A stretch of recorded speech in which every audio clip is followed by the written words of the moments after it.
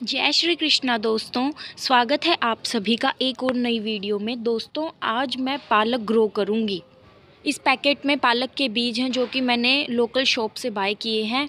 आप देख सकते हैं पालक के बीज। पालक मैं फ़र्स्ट टाइम ग्रो करने जा रही हूँ। और जो पालक के बीज हैं, उन्हें भी मैं पहली बार ही देख रही हूँ। अगर आप भी घर पर ऑर्गेनिक पालक ग्रो करना चाहते हैं तो आप भी इस प्रकार बीज को ख़रीद कर उन्हें लगा सकते हैं। ये मैंने मिट्टी तैयार कर ली है, जिसे मैंने मॉइस्चराइज़ भी कर लिया है। पालक को ग्रो करने के लिए मैंने इस टूटे हुए प्लास्टिक के टब को यूज़ किया है और उसमें एक पोली बैग को एडजस्ट कर दिया है। पालक को ग्रो करने के लिए ज़्यादा गहरे पोट की आवश्यकता नहीं होती, बल्कि एक चौड़े कंटेनर की आवश्यकता होती है। और जो ये प्लास्टिक का टब होता है, ये काफ़ी चौड़ा होता है। पालक को ग्रो करने के लिए मैंने वेल ड्रेन्ड सॉइल को तैयार कर लिया है और अब मैं इसके बीज को इस प्रकार से स्प्रिंकल कर रही हूँ सो दैट जो बीज हैं वो एक दूसरे में ओवरलैप ना हो। अगर बीज एक ही जगह पर ज़्यादा इकट्ठे हो जाते हैं और उनकी ओवरलैपिंग हो जाती है तो उनका जो जर्मिनेशन रेट है वो डिक्रीज़ हो जाता है। उनकी जो स्टेम होती है, वो भी स्ट्रॉन्ग नहीं बन पाती और बीज जर्मिनेट हो तो जाते हैं, किंतु वो टिक नहीं पाते और जर्मिनेशन होने के बाद ही वो मर जाते हैं। पहले मुझे लगा था ये सारे बीज एक ही टब में आ जाएँगे, लेकिन फिर वही ओवरलैपिंग होने का डर था, इसलिए मैंने दूसरे छोटे टब का भी इस्तेमाल किया है और इसमें पालक के बीज को मैंने ग्रो किया है। इसकी भी मिट्टी को मैंने अच्छे से वेल ड्रेन बना लिया है।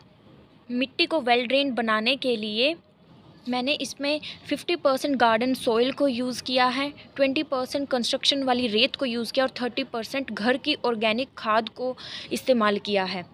जो ऑर्गेनिक खाद होती है वो आप घर पर भी बनाकर यूज़ कर सकते हैं या फिर आप नर्सरी से लाकर उसे इस्तेमाल कर सकते हैं। बीज को स्प्रिंकल करने के बाद एक पतली लेयर मिट्टी की इस पर ढकनी होती है। ध्यान रहे, ज़्यादा मोटी लेयर मिट्टी की हमें नहीं कवर करनी, बस पतली सी मिट्टी की एक लेयर से हमें इन बीजों को ढक देना है सो दैट हमारे जो बीज हैं, हवा से इधर उधर उड़े ना। पालक को मैंने अक्टूबर के फ़र्स्ट वीक में ग्रो किया है। पालक को हम सितंबर के लास्ट वीक और अक्टूबर के फ़र्स्ट वीक तक ग्रो कर सकते हैं, क्योंकि जो मौसम होता है, इस समय सुबह शाम ठंड वाला और दोपहर को गर्मी वाला होता है। बीजों के जर्मिनेशन के लिए जो दोपहर की गर्मी होती है, वो अति आवश्यक है।